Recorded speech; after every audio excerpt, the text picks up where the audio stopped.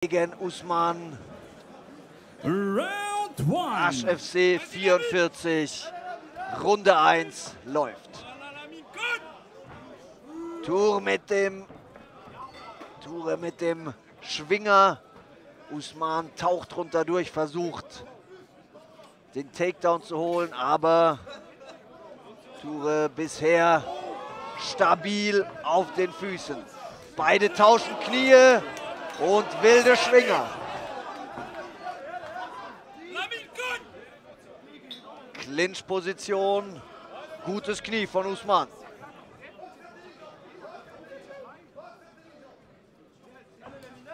Harter Inside-Kick von Ture. Da hat er sein ganzes Gewicht in diesen Kick gepackt und Usman aus dem Stand bewegt. Jetzt versucht Usman ihn hier zu werfen, aber Ture macht sich schwer, macht seine Hüfte schwer, bringt wieder die Füße auf den Boden und löst den Griff.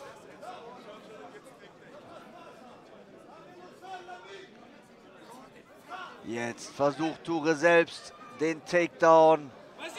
Hat den Gegner ausgehoben, muss aber aufpassen, dass er hier nicht in dem Guillotine-Choke abgewürgt wird, aber es sieht nicht so eng aus. Solange Ture da seine Hüfte oben behält, dürfte der Griff nicht zu eng werden und er kann vielleicht direkt zur Mount übergehen. Aber Usman dreht sich raus, muss aber auf dem Weg nach oben ein Knie zum Körper nehmen.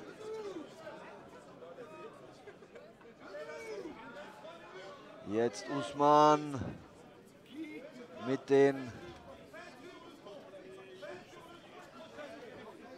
kurzen Knien zum Bein, zum Oberkörper.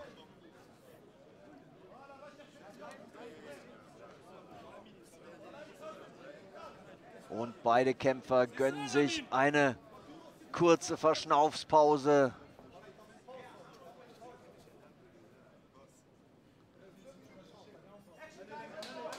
Ruhen sich aus. Die ganze Masse muss natürlich mit Blut versorgt werden. Daher wird es auch für die großen Jungs schnell anstrengend.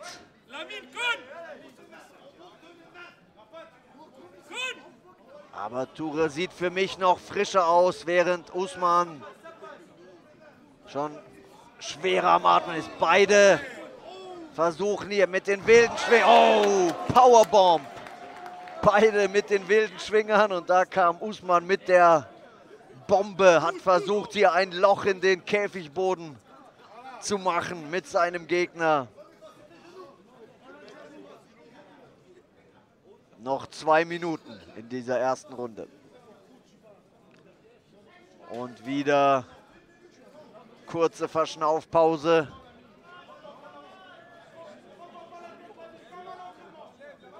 Beide scheinen nicht die absoluten Experten im Bodenkampf zu sein. Keiner versucht, seine Position wirklich zu verbessern oder zu verändern.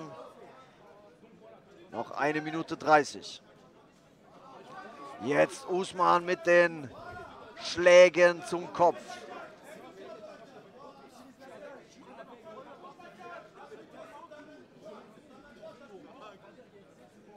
Ture könnte jetzt versuchen, den Arm von Usman zu attackieren, aber er sucht den Käfig, um sich da langsam, aber sicher zurück in den Stand zu bewegen. Gut gedreht. Noch eine Minute Zeit. Kann er jetzt hier selbst aus der Oberlage Schaden anrichten oder seinen Gegner zumindest kontrollieren? Usman auf den Knien, Ture hinter ihm und versucht jetzt sich hier die Backmount zu sichern.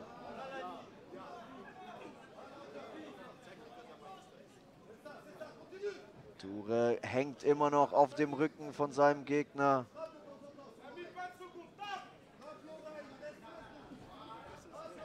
Dreht ihn jetzt auf den Boden, aber Usman schafft es, sich da wieder hoch zu scramblen.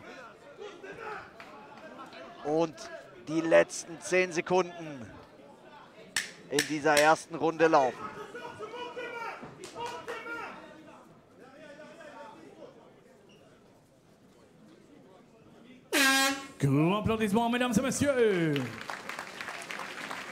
Kein so hohes Tempo wie in den Kämpfen davor, aber ist auch verständlich bei den schweren Jungs. Recht ausgeglichene erste Runde. Beide hatten ihre Momente. Noch keine so ganz klaren Treffer landen können, außer diesem ersten Low-Kick, den Ture gelandet hat. Aber ansonsten nicht so viel extrem Eindeutiges passiert.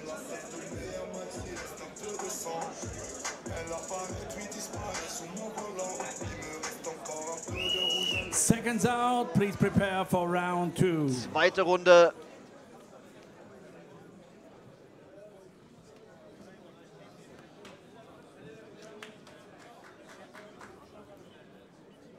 Round two.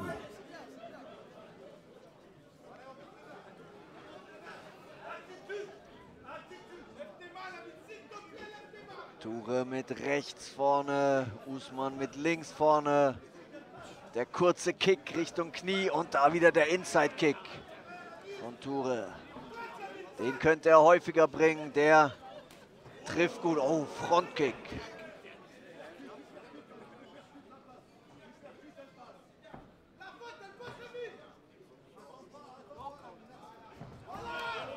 Ture mit dem Haken im Vorwärtsgang und Knie. Knie von Usman. Der nächste Inside-Kick. Die treffen.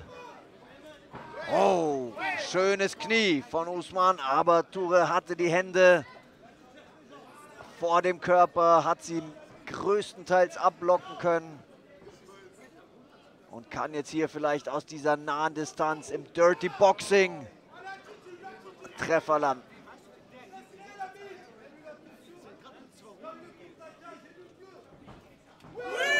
Schöne linke Hand von Ture.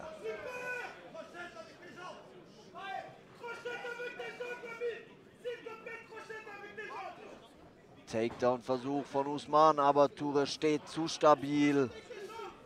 Oh, schöner Trip-Takedown von Ture. Bringt Usman direkt in die Unterlage, in die Side-Control und hat jetzt noch 3 Minuten und 15 Sekunden, um von dort zu arbeiten.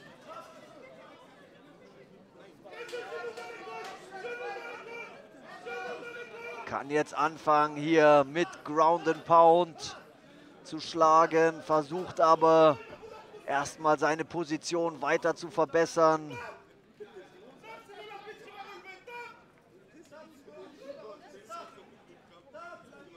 Will sich hier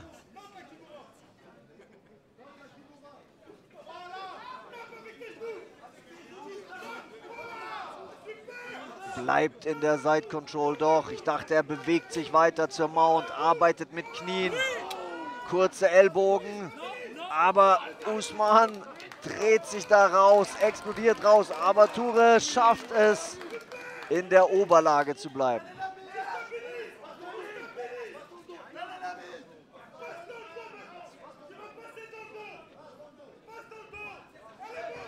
Jetzt Wechsel der Position. Usman in dem Headlock. Hat hier den Kopf und den Arm von Ture gegriffen. Dreht sich jetzt weiter Richtung Rücken und versucht hier den Würger anzubringen.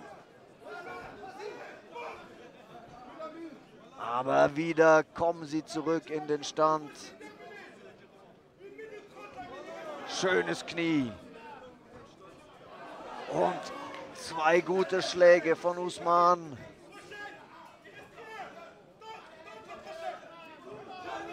Kommen die Knie. Beide Kämpfer schwer am Atmen.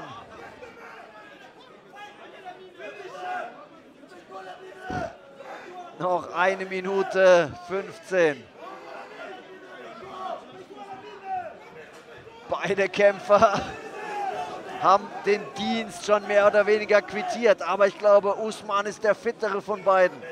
Wenn er hier jetzt noch ein, zwei Aktionen bringen kann, könnte er da vielleicht den Kampf vorzeitig beenden.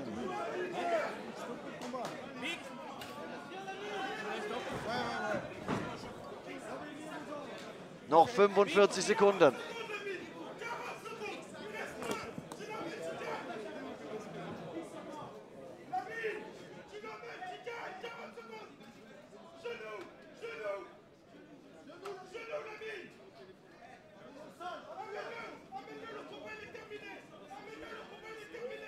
Ture versucht hier den Kampf nochmal auf den Boden zu verlagern, bringt ihn nochmal runter.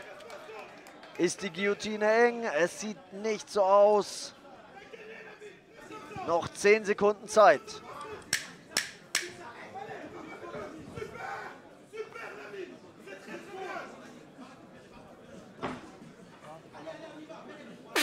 Give a big hand, ladies and gentlemen. Hoffentlich gibt es in diesem Kampf keine Extra-Runde. Das wäre sowohl für die Kämpfer nicht gut, als auch für die Zuschauer.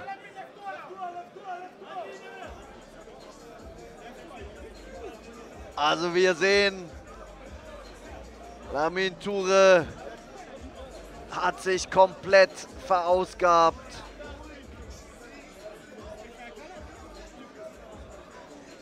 Kann nicht mehr.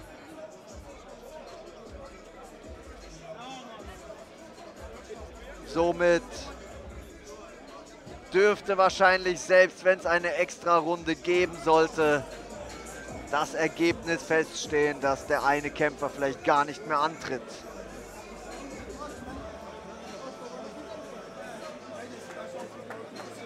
Aber so wie es aussieht, gibt es eine Entscheidung.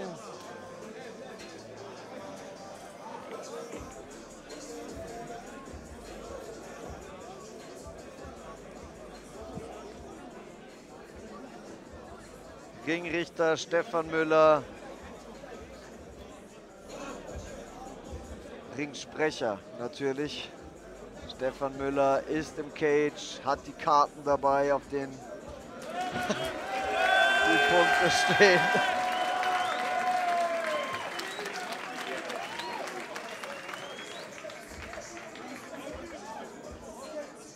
Fighters, combattants. Ladies and gentlemen, one more time, give me a big hand. Gros applaudissement pour tous les deux combattants. A split decision winner in the red corner, Lamine Touré. Et la trophée offert par Ivana. Sieger nach Punkten. Die rote Ecke. Lamin Ture. Ob er